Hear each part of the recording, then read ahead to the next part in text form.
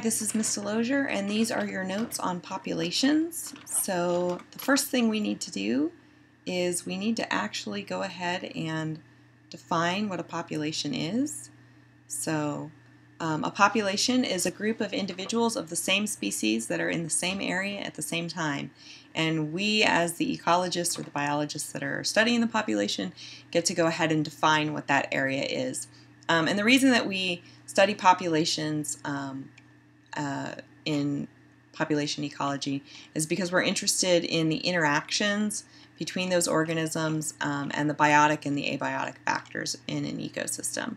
So um, we're basically going to be looking at how do the biotic and the abiotic factors influence the population's density distribution and the age structure of the population.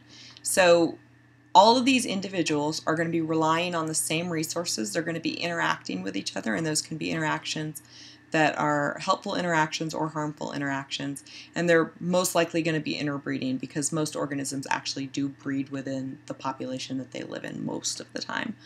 Um, so that's what we're going to be looking at. And the first thing we want to do is we want to talk about how we characterize a population as biologists. So the two primary things that we talk about initially are the density of the population um, and the dispersion of the population. So density is really easy. Density is just, um, it's really just how close together. Um, so, you know, the concept of density. So we're looking at how close together those organisms are. So the number of individuals per unit area or unit volume. The dispersion is going to be the pattern of spacing between them. Um, and so, how are they arranging themselves? So, what we want to talk about is the different ways that we can talk about spacing. So, these are the different spacing patterns that we can look at. Um, the first one is clumped, and you can see that I've kind of I've circled a clump here of organisms. Um, so, clumped organisms can include things like plants, fungus, animals. Clumped is actually the most common pattern of dispersal that we see. Um, we live in a clumped pattern. Um, you see humans gathered in cities, towns, villages. You very rarely see people that are off by themselves that never um, are interacting with anyone else. We can also have random, um, random dispersal pattern. And a random dispersal pattern tends to happen when you have um, organisms actually getting to that location by wind, uh, water, so like the current, or by animals actually depositing them there. So if you think about the seeds of a plant, um, they can be carried there by the wind, they can be washed there by water, animals can go ahead and consume the fruit and then excrete the, the seeds there. So those are all going to be things that give you random dispersal. Um, you can also have random dispersal within um, within some marine invertebrates when we've talked about the larvae um, and they wash and then they wherever they land. So if they're capable of surviving there, their pattern's kind of random. The one that is the most unusual is this uniform pattern. So I've circled two birds and then um, this one right here, I'm going to highlight it purple. There's no bird there. I'm going to unhighlight it so you can see it. But what you might be able to see is you, you might be able to see, let me erase it you might be able to see um, that there's actually a mound there. And so what you're actually looking at here are bird nests um, nesting on the ground. And, and what the reason that they're so evenly spaced there is uh, that these animals are very territorial. So they're going to go ahead and they're going to have some kind of way to maintain that space between them. And that could be um, auditory, it could be physical confrontation between organisms. Um, but they have some type of defense system where they're actually setting a boundary like this is my space and you can't be within that space. Um, so that's that's the territoriality we're talking about. There are examples of uniform dispersal that don't involve that social behavior and those are things like uh, there's plants that actually will go ahead and prevent other plants from growing around them because they they um, they secrete a chemical that prevents other plants from growing near them, and that would be again um, to go ahead and, and allow it to have the most habitat available and to protect its resources. Uh, territoriality, when we talk about it most of the time, is going to be um, related to social behavior within within a species, and a lot of times it's related to mating behavior. So we're going to talk a lot about that this year. The next thing I want to talk about is uh, survivorship curves. So there are these three types of survivorship curves, and I went ahead and I labeled them a little bigger so you can actually see them while we're talking about them. So the survivorship curves are type 1, type 2, and type 3 survivorship curve. And the type 1 curve, it says, is describing humans.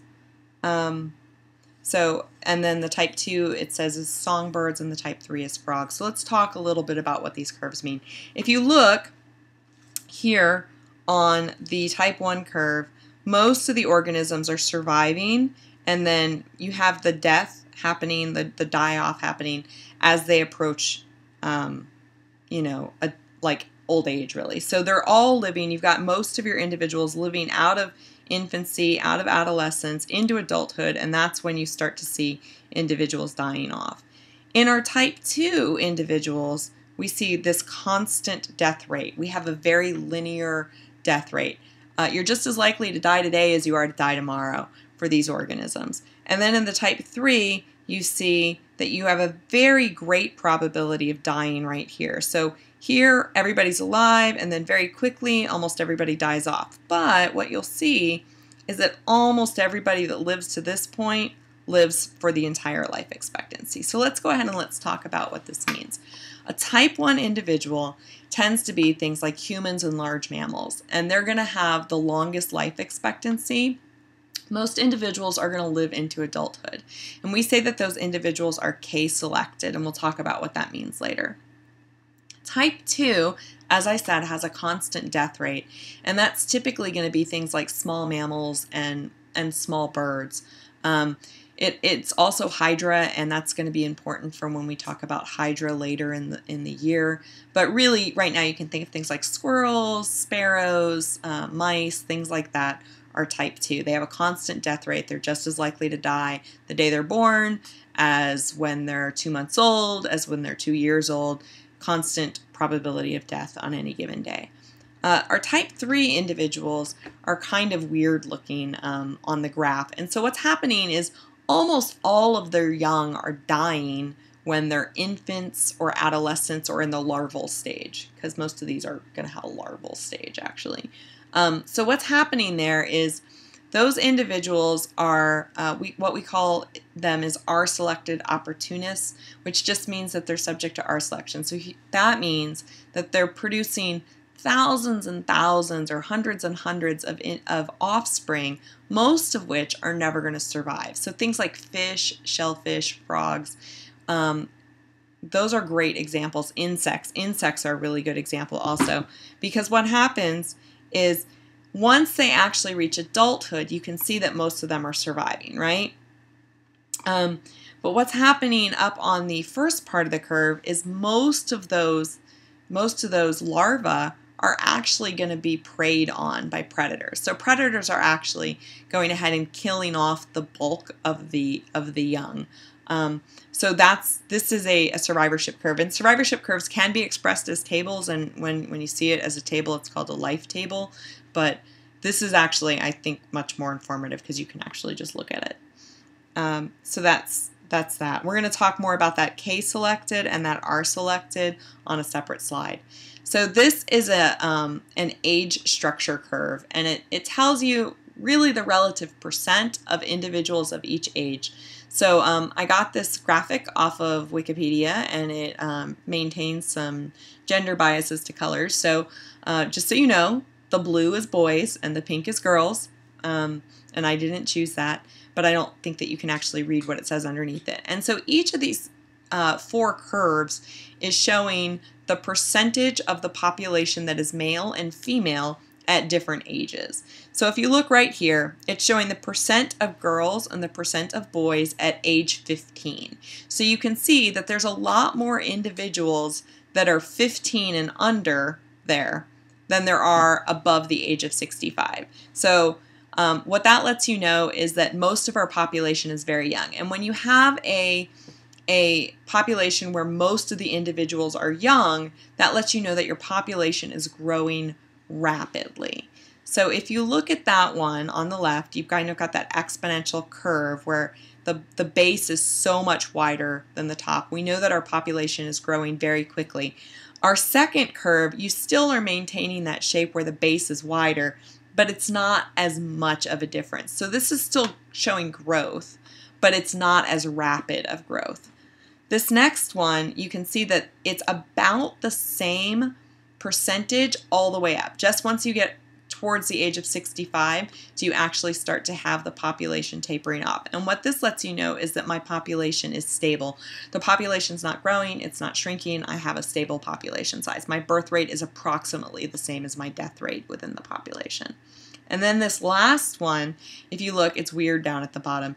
I have fewer young um, than I have at that middle area. So if you look between 15 and 65, it's actually wider than in the under 15 category. So this means that I don't have as many babies being born um, as as I do in the other populations, which means fewer young means that eventually I'm going to have a decreasing population size because my birth rate has gone down is really what this is saying. So you're gonna you're gonna see these curves pretty frequently. Um, they'll normally be a little bit more detailed than this, but this is the one that I had available. So now I want to talk about reproductive strategies in R selected and K selected, and that is actually supposed to be written there, but for some reason it didn't show up. So K selected individuals are individuals that reach sexual maturity relatively late. I mean, it's relative to that speed to that that type of organism. So um, you as a human reach sexual maturity when you go through puberty, which is around middle school, right? Insects can reach sexual maturity in a matter of days. So that would be early reproduction compared to humans, right? So K selected individuals reach sexual maturity late. When they do reproduce, they have very few offspring, and each of those offspring require a significant energy expenditure. So humans typically have one offspring, it is not capable of surviving on its own. You have to put a lot of energy in to get it to the point where it can survive on its own. They're also energetically expensive to produce. Nine months of gestation, 40 weeks of gestation. R selected individuals tend to have very early reproduction. Uh, they reproduce a lot of offspring, and each of those offspring requires little to no parental care. So you have an energy expenditure to produce the offspring, but you're not expending energy to actually care for the offspring. So when we actually look at these two pictures, which ones are selected, which one's K selected, the, the, um, the dragonfly is R selected, the bison is K selected. So that's really it for our, um, our basic population notes. I hope that helps. If you have any questions, go ahead and come see me at tutorials or send me an email.